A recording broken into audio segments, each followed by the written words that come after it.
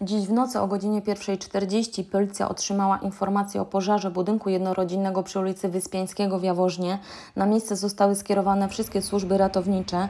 W wyniku akcji gaśniczej ujawniono ciała dwóch mężczyzn, natomiast na tą chwilę będziemy dokładnie ustalać tożsamość tych osób.